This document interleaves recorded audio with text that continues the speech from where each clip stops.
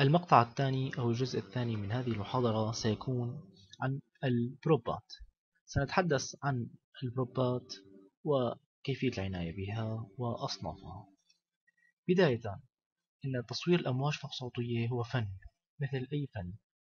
فالرسام عندما يريد أن يرسم لوحة فنية يحتاج إلى أدوات وهي الفراشي التي تقوم برسم اللوحة الخاصة به.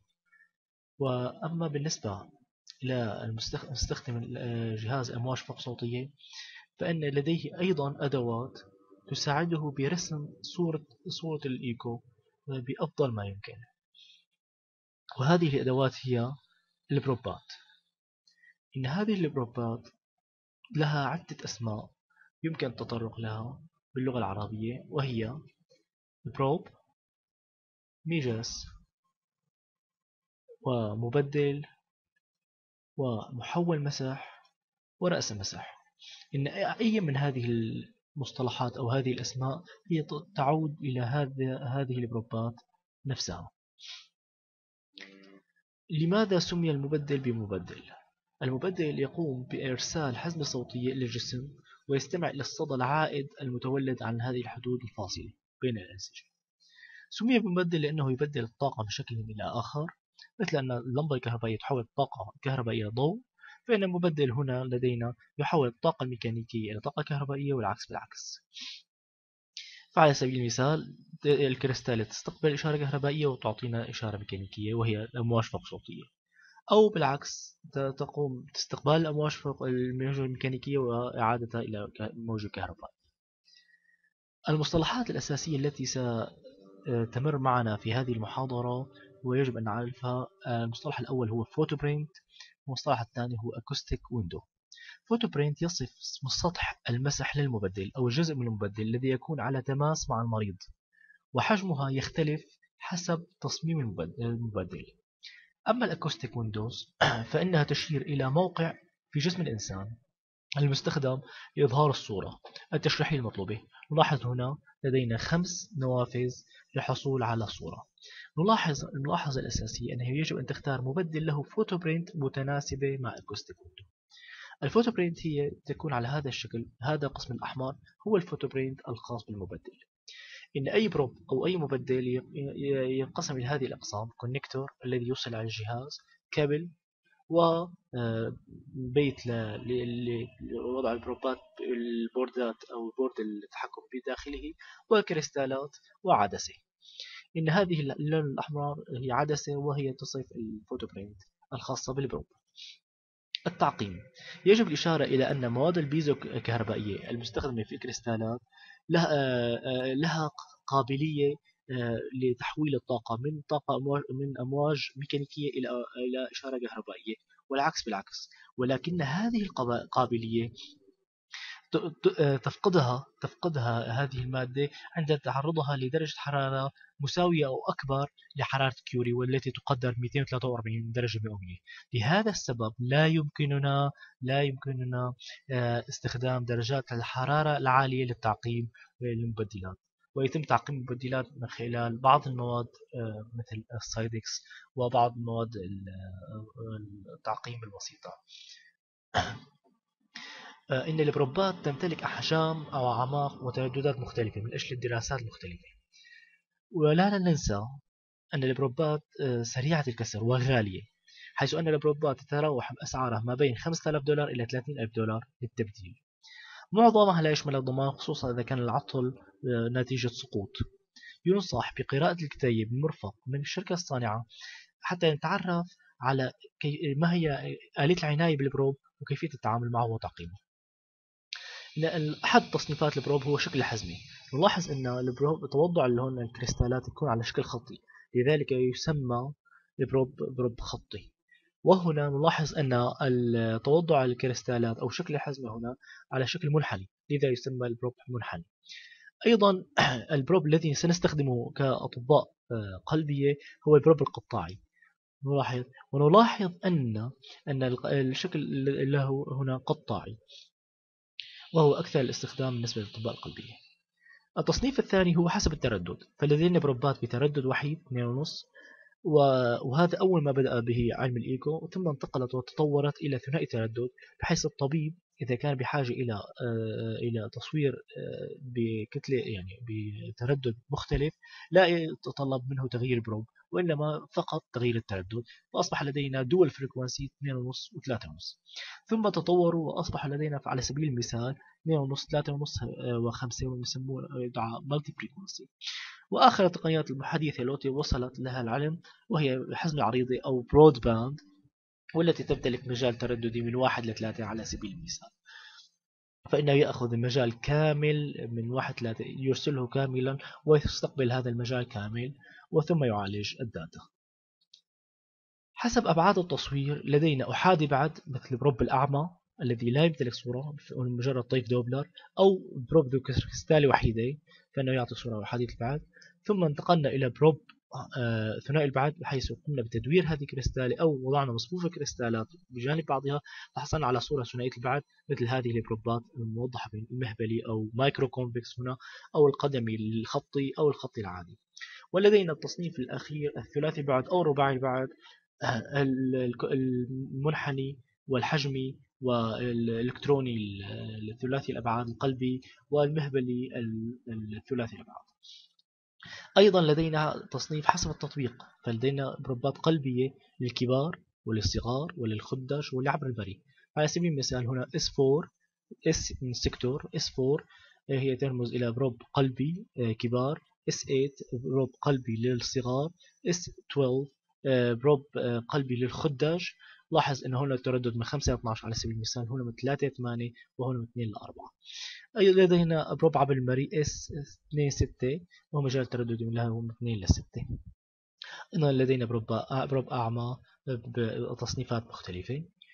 لدينا أيضا غير البروبات القلبية تطبيق الأوعية تصوير السباتي وتصوير الأطراف تصوير عام بطن وبولية وهضمية والنسائية توليد لتصوير الثلث الأول والثلث الثاني والثلث الثالث. هذه حسب التصنيف فكل تصنيف له بروبات خاصة به. من ميزات البروبات المختلفة أن ال probe المنحني لديه حقل بعيد واسع آه، واسع بحجم جيد للمنفذ footprint من أجل دقة جيدة في الأعماق. لذلك يستخدم جماعة النسائية وجماعة الداخلية. أما ال probe الخطي فإنه يمتلك حقل قريب واسع لتصوير الأعضاء السطحية مثل تصوير الأجزاء الصغيرة small parts أو بعض الأوعية ويكون بتردد 7.5 أو أعلى. لدينا أيضا probe قطاعي يكون منفذ تبعه صغير footprint لديه صغيرة ومما يسمح له بالصورة أن تخترق بين الأضلاع يحصل على صورة جيدة يستخدمها جماعة القلبية. غالبا تكون ترددات القلبية من 1 ل 12 بالنسبة للجهاز بشكل عام. أما بالنسبة لل probe فيكون من 1 ل 3 إذا كان للكبار ال probe أو من 3 إلى 5 أو آه، قد يتطلب إلى 8 أحيانا للأطفال وللخدج من 4 أو 5 إلى 12 غالبا ما يكون تردد ال probe في التطبيقات البطن 3.5 أما في التطبيقات النسائية 2 ل 5 وتطبيقات الأوعية هي 7 ميجاهرتز أحد الأشكال الإضافية التي هي هناك probe عبر الأوعية intravascular آه، في عندنا عبر المري TEE non image probe و probe مهبلي vaginal الأعطال التي تصادفها بالبروبات ال probe التي تعطل بسبب القطع على الكابل أو التعرية أو كسر الكريستالات يجب أن يتم تغييرها. لا نقوم بتشغيل الجهاز في حال وجود أي من الأعطال التالية. لماذا؟ لأن هذا يؤدي إلى آه، تأثير على الجهاز وتأثير على الصورة الجيدة. وقد نعطي نتيجة خاطئة عند استخدام probe عاطل أو فيه عطل بالكبل أو بالكريستالة لأن صورة الإيكو هي عبارة عن صورة data آه، معلومات يجب أن تكون دقيقة. من أهم الأعطال آه، الأمور التي ننتبه إليها وضع البروبات في مكانها الصحيح. نلاحظ هناك probe لا يجب عدم وضع البروبات بهذا الشكل الخاطئ لأنه قد يؤدي إلى أن يقع ال probe آه، رأس ال probe أو الجزء الثقيل بال probe إلى الأرض فتنكسر الكريستالات والكريستالات تعتبر مثل البلور. قد تنكسر أو لا ولكن عند استخدامها توقع بنسبة 90% أنها تنكسر وبالتالي نخسر ال probe ويحتاج إلى تبديله. وأن عملية إصلاحه نوعا ما صعبة لكن هناك بعض المصانع التي تقوم تصنيعها بهذه الأيام. أيضا آه، هناك توضع للكابلات. إن الكابلات يجب عدم وضعها بهذا الشكل لأنه يؤدي إلى تقطيعها أو تعريتها فيجب وضع وضعها في حامل probe الخاص بها. أيضا يجب قبل استخدام ال probe الفحص ال probe من العنق أو من الكبل أو من العدسة أو رأس ال probe. الانتباه عدم وجود مثل هذه الأعطال التي تؤدي على تأثير على الصورة وتسوء الصورة. نهاية هذا المقطع ننظر إلى أحد الصور التي تميز لنا وجود كسر الكريستالة الذي يعطي shadow أسود على كامل الصورة ومما يقلل من من دقة الصورة. وبهذه الحالة يجب تبديل هذا ال probe لأنه لا يمكن التعامل مع هذا مثل هذه البروبات. وشكرا.